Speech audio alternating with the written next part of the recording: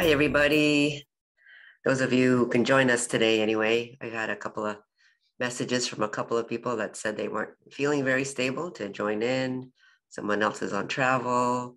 There was another person who has lost their internet connection. And then uh, a couple of our other friends are um, international, so the time doesn't work out for them. So let's get started. Um, so the topics for today, uh, just quickly. Um, okay, come on. There we go. Uh, we're going to talk a little bit more about the 13 zodiac constellations, um, the influx of biophotons we received last month on 424. And I definitely felt like these huge waves on that day coming in, uh, revisiting dark matter a little bit and trying to, you know, because that's a hard concept to kind of wrap your mind around. So, you know, I kind of keep bringing it up and maybe in different words and different uh, ways to kind of start grappling with that concept um, the quantum field versus the Wuntum field, enough pulses of sound breaths, uh, new creation technology or tools uh, to continue to stream through. We got some new images from the galactic suns or the primordial galactic suns to help us um, utilize these, these new energies that are coming through. Um, so med- the meditation is going to focus on connecting to the energetic earth channels as the earth is clearing and upgrading. So uh, we'll talk a bit about that and hopefully that will help people start to feel um, more clearings going on in the body. Okay, uh, let's see. Next. So the 13 zodiac signs, I don't know if anybody did it. Um, that meditation, again, it's it's new, it's something new. And I felt like that was something that I needed to do for Sam in order for her to get comfortable in her body. Um, so the uh, at, the constellations, you know, they're stars, so they're like emanations, and they're emanating from source, uh, and they each have a different element. And what's been missing in uh, the elements, we've only been talking about the four elements, right? Earth, air, water, and fire. Uh, but there is a fifth element, ether, and Ophiuchus is that fifth element. And um, when we've been operating with just the four, it's almost like the polarity, uh, the polarity dance has been, you know, we've continued to um, uh, dance in this polarity. And so always trying to get balance. And it's that fifth element of ether that brings a sense of neutrality and stability. And the zodiacs are also uh, 13 constellations are also and and the elements that they emanate through are what uh, play a big role in my understanding in activating our dna so um, uh, that's why some people may be more like a have earth uh, elements in their a- activation of their physical body or other people might be more um, water. Other some other people might be more um, fire you know? So the different combinations and the way uh, the elements activate our DNA uh, helps to really manifest our body. Um, so I just wanted to give you a couple of uh, references as well, if anybody wants to look a little bit deeper. I first had learned about this through the Energetic Synthesis newsletter in March 2014, and I'll put the links in, you know, when the when we get the description uh, of the uh, recording up. Um, and then I also got this book a couple of years ago astrology of the 13 signs of the zodiac. And this guy is a, uh, I think he's an astrophysicist. And he uh, talks about the history of how we came to the 12 zodiac system, how we came to use that. And it's based on the, the mapping of um, Ptolemy, P T O L E M Y, of the stars. And that was like 2000 years ago, you know? So we've been using that uh, reference point that he came up with, um, if I'm saying this correctly, I hope. Um, but, you know, the earth has a wobble and we're constantly moving, you know, we're moving around the center of the galaxy, we're rotating around the sun. And so, you know, those um, alignments are shifting to the constellations are constantly shifting. So he was saying that uh, the 12 tropical system of the zodiac signs are really off now, you know. Um, so like this weekend, everybody was saying that this was a full moon in Scorpio. And I looked at it, and for some reason, I felt like no, it's in Ophiuchus. This uh, full moon was in Ophiuchus. Um, if you look at the chart, like a 13 zodiac sign chart, Ophiuchus, um, Scorpio, and Ophiuchus are like right next to each other, and they're small windows, you know. So in the 13 zodiac sign system, the signs don't go through the. Um, we don't go through each sign like that organized, where it's divided into 60 minutes divided into 12.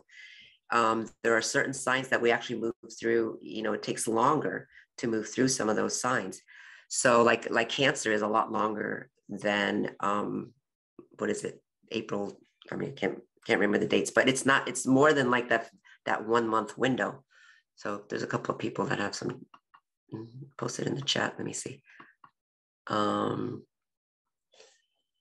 oh yeah, somebody else talking about antimatter.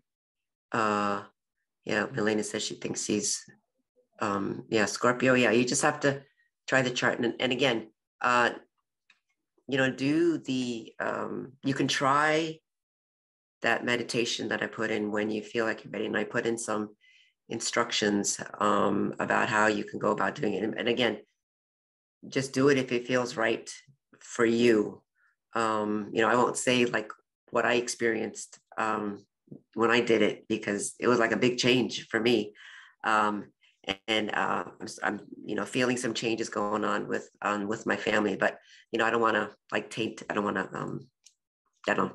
I think it's better for me not to say what what those changes are until until you do it and you can experience yourself. You know, if it feels right for you um, about that. But anyway, I just wanted to put up some more references um, about the uh, 13 about the 13 signs and i'm not just making this up you know kind of thing so um, Okay, so let's see the next one. Uh, yeah, the biophoton influx. Um, you know, biophotons meaning that it's biologically available uh, to use. And so I uh, kind of put out the question. So we're receiving these biophotons, we can feel ourselves moving through it, uh, through these, um, feeling these waves that are coming from the galactic core. And uh, you know, and then our sun magnifies it by uh, emanating it to us, you know, when we feel things. But um, is that alone bioavailable, like just by receiving directly those um, those photons? And uh, what I got was that it's it's really through the earth. The earth transduces that energy to become bioavailable to us. So it's really important to uh, now keep connecting with the earth. Uh, the earth, you know, has been, was in, you know, what we call a fallen matrix, a false matrix that was um, in extreme polarity and a lot of reversal codes coming in that, um, which means that you would ascend to a certain point and then there would be this current that would come in and, and basically knock us back down and not realizing that we were recycling the same uh, themes over and over again. You know, just like what you're we're seeing playing out in the outer world, where they're trying to play out a, a theme of war again. You know, warring against each other, warring for for resources, making somebody the enemy, all those kinds of things. Those are those are the kind of the themes that have been going on for a long time, and we have to transcend and be get beyond that in order to break um, our engagement with this false matrix, which is coming down. Um, you know, with all these activations now, it, it can't survive what you know what it's undergoing. But uh, just like with it's grace in action, meaning that it's not all taken down at once because we would have a difficult time then surviving uh, that that level of change. And so, you know, we're grad we've been gradually, kind of gradually, you know, moving through these different phases and stages. But again, this year is the one that is really marking the um, the co-creation with a lot of the new um, activations, templates. I don't know what you call it, codes that are all coming in now. So, um, so you know, this is why we're going to the meditation. We're going to be connecting to the earth and the new earth channels or the energy uh, in the earth and we'll be talking about that some more and how to how to keep up with that. So um, you know, I talked about this dragon, dark dark matter dragon, uh, Katya, before, and uh, you know, I've been working with Katya since 2017. So I went went back and looked at the planetary synthesis from 2017 when Sammy told me we have to do this, you know, for six months every month and meet. And I was like, I don't know what I'm doing here, but um, you know that and she was talking about then you know this is not space that kind of had burst open um they opened this portal uh into this all i can say is now i think the 16th 17th and 18th dimensions. And uh i was feeling this uh, dragon named katya uh, of the dark matter realm. So i was even writing them there is not space um, the new alpha and omega you know i mean there was all these things uh, g- going on even then i didn't know and now I'm, it's starting to make more sense to me what uh, all that was about and what's going on. So now you know um, in may 2022 um, you know i had tried to draw katya before and i only could get like this rough shadowy sketch of katya and then um, maybe about three weeks ago, Sam had one of those really just violent outbursts again, you know. And so um, our in-home helper was here, and you know, I was toning and toning, light language, and all these things, and then all of a sudden, I just felt this dragon like this, um, just looking me in the eyes. Uh, and I was like, there she is, that's Katya now. So that indicated to me that um, it broke through whatever layers uh, of um, interface that we have with dark matter. I'm not even sure what the right word is, but there are different these different layers and fields that we interface with um, uh, to come into matter, to become matter. Uh, and there's all these things going on behind the scenes, you know, behind the unseen realms, the pre-manifestation realms. Um, and so what this was telling me was that we broke through um, yet another very important layer, completely broke through. And seriously, she was like looking at me uh, eye to eye. Yeah. So um, the dark matter matrix is what enables a form to exist. And what Sammy explained to me several years ago is that um, it defines what you are, what you are not. You know, so there's like a matrix of what you're not. So um, it defines what you're not so that uh, the light comes through this, let's say, matrix or pattern. The light comes through to uh, define what you are in the matter world. So uh, that's what creates the light body first. And then um, it, the light body holds all these codes um, for who we're meant to be in this physical form in this life as this human. So um, it means that the dark matter matrix, it, it's what distinguishes you from a tree, a bird, you know, one human to another. So even in the dark matter matrix, you have a unique blueprint. There's another blueprint of who you are in the dark matter realms so that when the light comes through and really light and sound comes is transduced al- alchemized and you come through to be this human in form and that we know. So um hope that starts you know that helps a little bit more. So it distinguishes you from a tree another bird a fox you know? Uh, it, it happens in the dark matter matrix so um, this is from Ascension Glossary. And she, she's talking about um, the Eucharistic body, and this is much more complex. So the dark matter template. So is the blueprint when, in which the eternal source particle atoms and molecules are built in order to generate the layers of eternal light. Okay, so this is actually a type of matter body that is fully immersed with the eternal spirit substance. So I'll let you, um, you know, read that a bit more if you want to uh, look it up. And again, I'll put the link in. Um, so the uh, the other important part in here is that um, uh, the, the earth is also rebuilding her dark matter body uh, with flickering and glittering opalescent rainbow pearl energies being observed as they are weaving through the layers in a beautiful tapestry of flowing currents. So as the planetary body is able to hold these activated dark matter bodies, it's the same for each of us on the earth to have the direct potential to interact with these same crystal forces. So again, the earth is designed to hold and support this kind of life that we are. Um, and so it's by connecting with the earth and the earth grid because we're literally connected, part of the earth grid.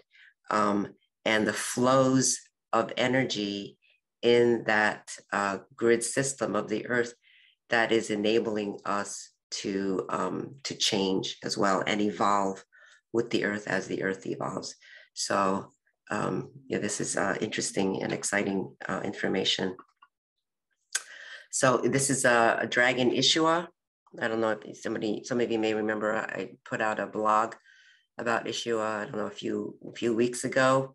And uh, Ishua is like um, accessing the um, beyond the quantum field into these uh, breaths. It's almost like this, this field of just pure, pure breath of source.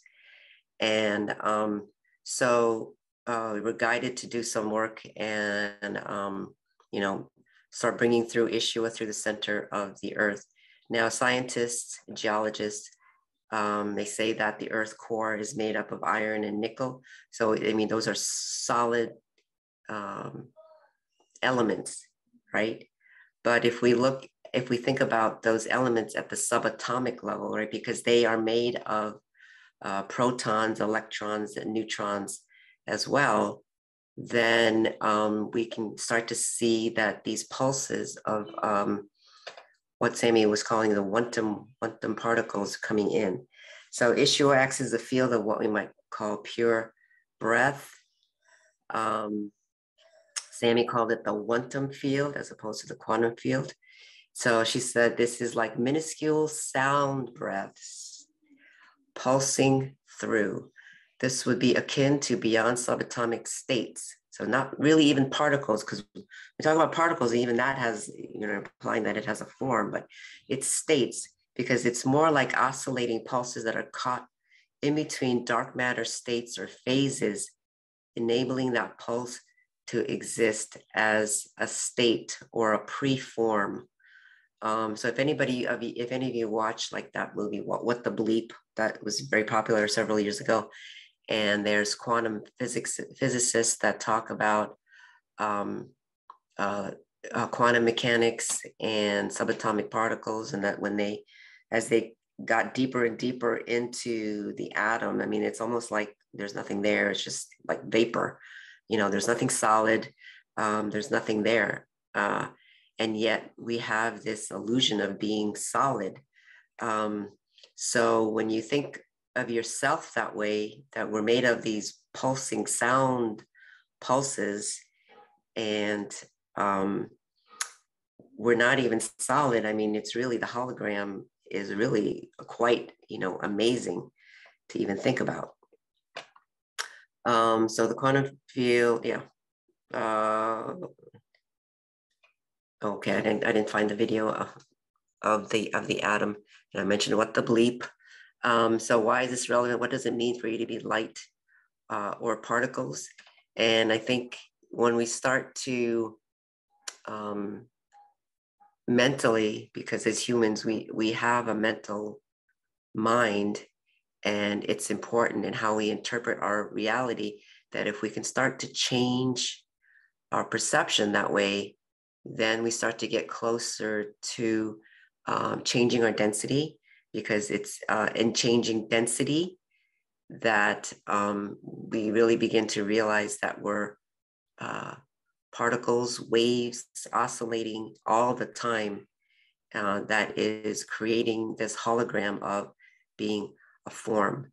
And, you know, when we start to fully feel that in our body, And I think we're going to, so something's saying to me in the next 35 years, more and more people are going to start to feel this and sense this physically um, that we can actually release a lot of dead light. It's going to be, you know, and that's why we're going through all these healings and cleansings and wanting to purge.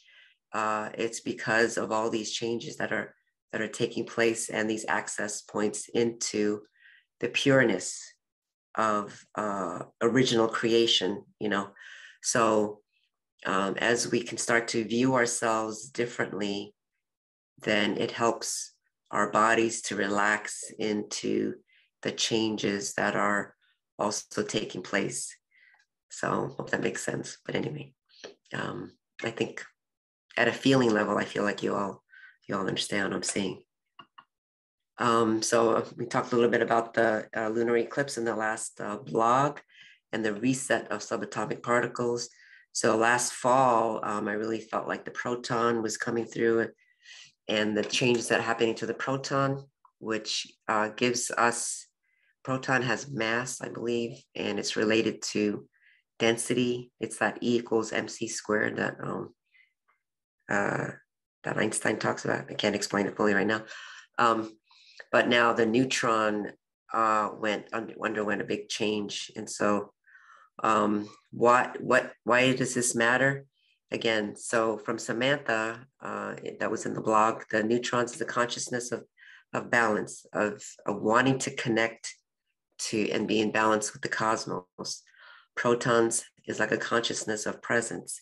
And you can kind of get that feeling if it has mass, it's almost like exerting your presence here, you know? So this proton is like facilitates this matter state feeling like you're here, you know, in this hologram that like, here I am, uh, I'm here and I'm in this form I'm in this body, you know, for this whatever period of time. Um, and electrons is like waves or a movement or a dance of particular God source uh, language emanations, which um, a lot of it is is sound. So you kind of get this feeling of movement or a dance from um, sound that they're all continuously oscillating, they continuously want to be in, in motion. And the electron gives us that, um, that sense.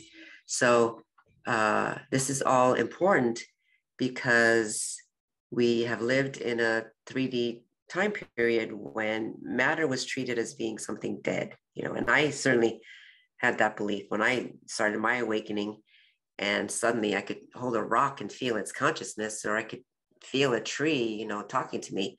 I was like stunned, you know, because I had that uh, illusion as well that um, matter is dead, you know, that this table is dead. This chair that I'm sitting in is just dead matter, you know. But um, this is saying so this kind of new awareness about neutrons, protons, and electrons, it's almost like it's being infused with consciousness again. You know, it's bringing back to life um, everything that we took took for granted, and it's kind of consistent with that idea that if okay, if God created everything, then what part is God not in? And so why would we treat a rock and the earth as if it's dead? You know, why would we treat the dirt as if uh, it's not alive and that there's no consciousness in it? So this is saying it's bringing everything back to to life again. And we're going to be relating to um, the consciousness of all of it in a very uh, different and unique way.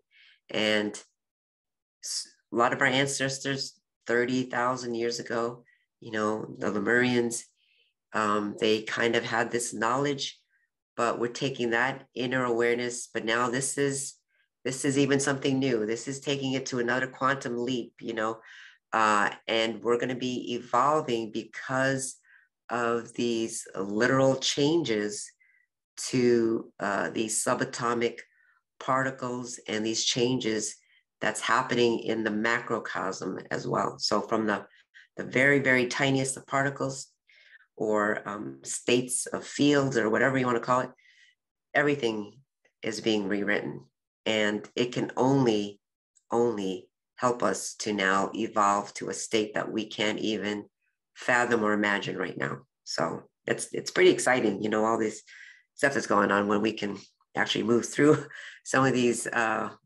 really intense things that are taking place. But um, this is sort of what's happening. So this is um, some of the new creation technology from the uh, primordial galactic suns that I call it now. Um, this one helps to work with the biophotons that are um, that were being that, that the influx of biophotons, and this is a 12 point star um, from those 12 galactic suns that uh, is going to help stabilize our the high heart or the eighth chakra right there at the thymic thymic level. And it's also doing some things it also has the capacity to do some things at the um, with our neurology as well with our changing neurology and the 12 cranial nerves that will um, continue to be worked with so uh, use some of the new tools and this is going to be you know this is part of the basis for the meditation somebody else has a comment here um, yeah, the Incas had that knowledge. That's right. They had the knowledge. Lots of um, really beautiful insights that the um, that of the the Incas, um, the Peruvians, the Mayans, um, the indigenous people, the Aboriginals uh, in Australia.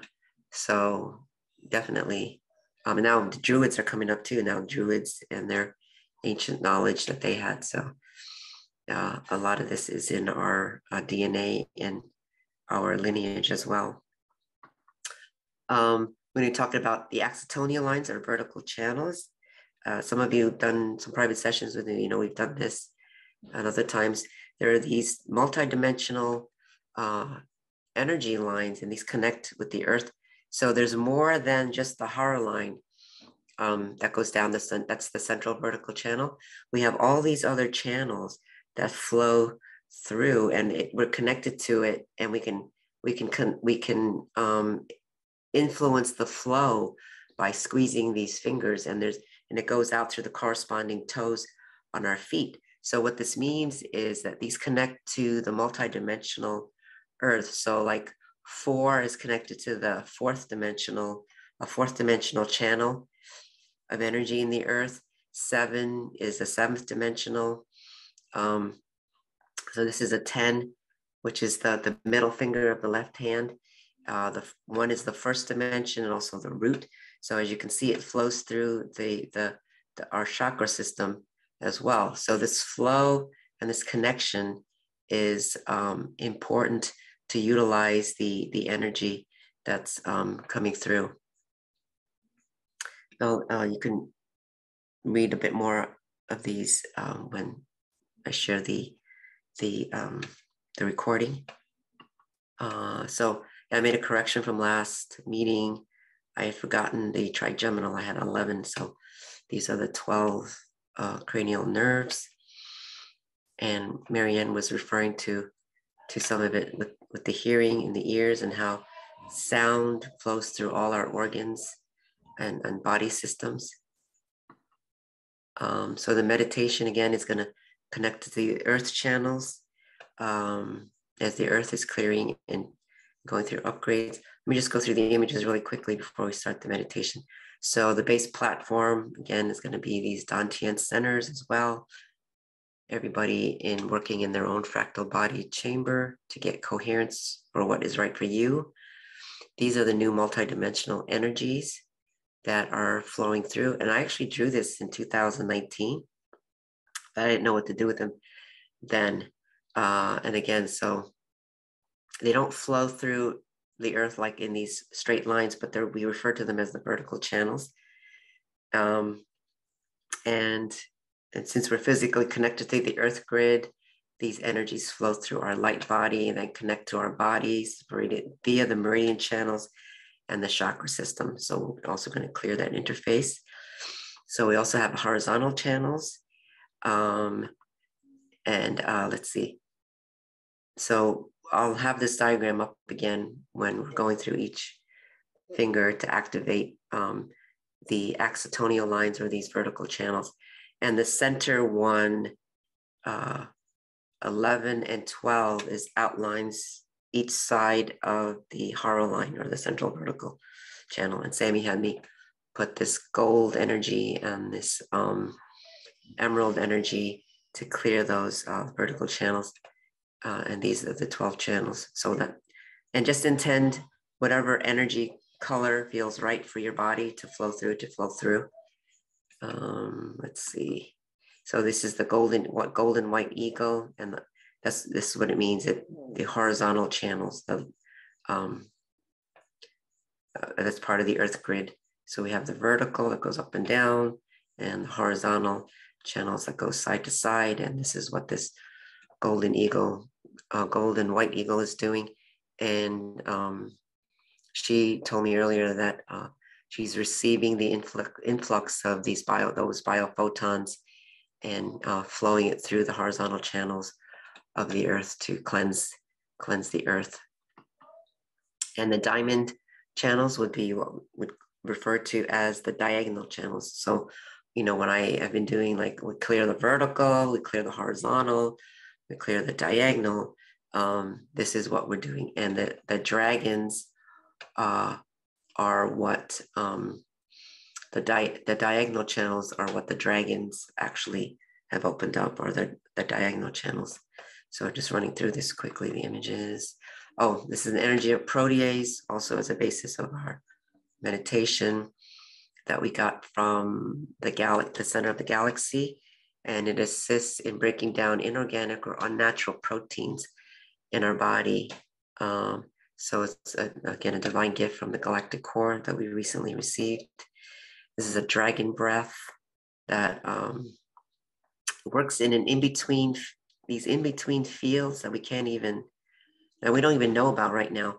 Um, but it has a divine intelligence. It knows what to do, where to connect, to help us connect to these different um, layers of the creation field or different aspects of the cosmos that we're fully emerged and engaged with. We're, we're part of the dimensionalized system. We're in we're embedded in um, the field of creation. So it's working at it works at that level.